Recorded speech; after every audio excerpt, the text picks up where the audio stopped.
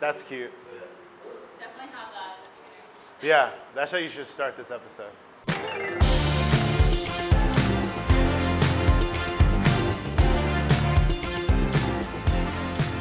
Uh, my name is Storm Santos. I'm an editorial photographer here in Los Angeles,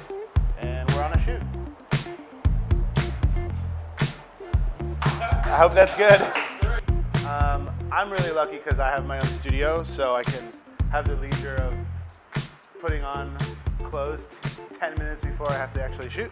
So, and I get to bring my dog, which is nice, which is cool. Um, yeah, I love to shoot with like a bare bulb. I try to make things as harsh as possible without making it too pretty. So we're just using like a regular Profoto head with a, a bare reflector, and then we just kind of like start from there. So I like to sit sometimes because I'm lazy. but cool. I love that. Cool. Actually, yeah, sweet. Secret secret sauce. So I think if you're excited and you feel like you're involved in what they're doing or care about who they are, like they'll kind of like perk up. Someone who has some type of status when we're shooting is find a connection point, and then once you can find out that you're like a normal human being and you treat them as a normal human being, but we both work in the industry, I think that's like a super valuable thing. Hanging out, kid? I think you need to give us your best impression of what people think is a celebrity. Karl Lagerfeld just with like web, webbed, webbed leather gloves on. Because that's the way I want to. Yeah, like not actually a full beard, but it's like it's only on this front chin part. Yeah, I think that guy's talented, huh? Lift his beard up. There's nothing there. It's actually a little man actually working the mouth. I'm gonna get a phone call from Karl Lagerfeld's PO and be like, "Hey, you son of a bitch." So I use a 5D Mark IV. I basically just use every Canon that just keeps coming out. It's kind of like creature of habit. You kind of learn one thing and you kind of can't stop. Um, I try to use medium format like when we do bigger stuff. Typical Apple products. Uh, my DigiCart's like one of my favorite things because it can fold down and do all kinds of cool things and it's also built like a tank.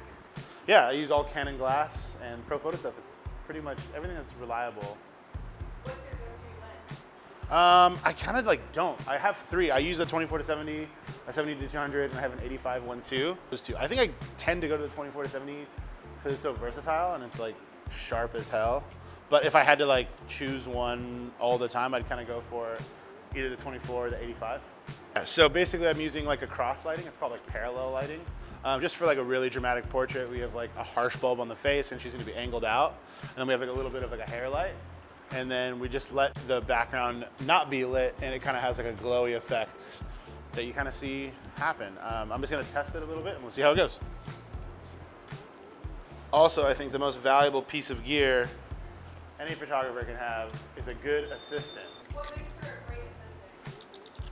someone that you don't have to ask to do anything, which doesn't happen day one, but once they get a rhythm of the way you do things, you tell them, hey, this is the kind of way I want it to be today, and they just do it. That's awesome. And someone that you can like hang out with too. I don't like to just have like robots on set. Like you gotta have people who are fun to talk to, because if they're not on talk to, then there's nothing there. so I use a speed light for like hair light and stuff. If it's a quick shoot and like you, we, if we don't have the time, I feel like a speed light is really easy and you can just slave them out. They're small. You can keep them in your bag. You don't need to have a whole case for them. Um, and they're quick and simple. And for like a speed light, for a hair light, it's really, really easy. I think convenience and function sometimes are the, the key. Yeah, a lot of photographers that are like getting started and they get so nervous about spending money on gear. I feel like that's how I feel about spending money on gear too. I, I feel like whatever's available to you and you have the budget for, make it work for yourself because you can get great images out of some of the cheapest stuff. I've seen people use flashlights and get awesome photos. I've used flashlights and got awesome photos before, so there you go. It's almost like you're taking a breath. I feel like whenever I tell people to do like commercially um, smiley stuff, think of like as like a like a Target ad. Everything's like almost like taking a breath, like yeah. It's almost like the germ the germ yeah I know. I'm like now you owe me three hundred and fifty dollars. Thank you. It's like that in and out breathing, falling down, fake ah smile, and we'll be good. There you go. Three, two, one. There you go.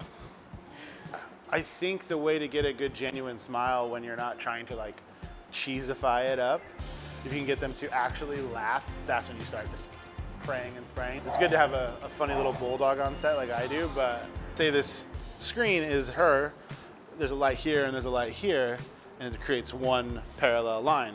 And you get like a, a pretty cool, I always say don't ever light on the same axis. So you're getting like all these lights on this side and nothing on that side, because then it starts to feel a little lopsided and not so three-dimensional. At least the way I like to light things. Um, first in studio, I always mess with things to the extreme just to see like where things lie before I actually start doing like the editing process. So I'll just like pump up full shadow, full highlight just to be like, okay, here's like, obviously that's so aggressive and not great looking, but you can kind of see where everything lies clearly, and then you bring it back, and you're like, okay, cool. These are the things I want to fix, and these are the things I liked where light landed, and just kind of things like that. For all the people who are trying to shoot studio that don't have a studio, find a white wall, find a colored wall, do anything, and if you do any type of mildly softened bared bulb, and you keep them relatively close to that wall, you can get like some pretty cool little more edgy contrasting the light stuff so you can kind of see like a shadow line here, shadow line there. You get a little bit more like defined cheekbones and chin and stuff like that. And you can kind of get a lot with it. Getting, you can do great wides, you can do close up, you can do you can get away with a lot with one light on a white wall. Sometimes you get into a groove and you like do that for like a week. And then you're like, oh, I hate that now. Oh, now I want to do this. Or you get inspired. I look, I read a lot of magazines and books and stuff like that. So I just be like, oh, cool, I want to try to do that. Or I feel like I need to get out of the studio. I've been in there for a month now. It's, it, it just depends. I'm, I get a little like cabin fever. I, I feel like every photographer finds a goal, finds a groove, gets in it, and you kind of find that light in their shots always, but it's always just kind of placed differently and toned a little differently. But if you can find a style and you can find it relatively fast, that'll keep you working because it distinguishes, oh, that looks like you, that looks like that person. And that was taught to me by a friend when I was really getting into the thick of photography and it just like stuck in my head, like do it until people start recognizing that it's you. You start to get burnt out on it, that's when you try different things. Don't be afraid to try different things. I feel like have fun with it. If you love what you do and you keep enjoying with it, then you'll have a great time.